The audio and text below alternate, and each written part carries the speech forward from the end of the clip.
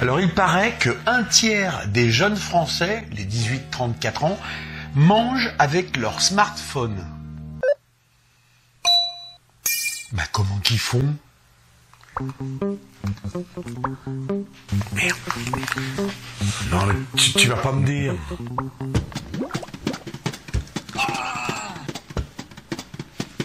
Putain mais comme ils se compliquent la vie les gamins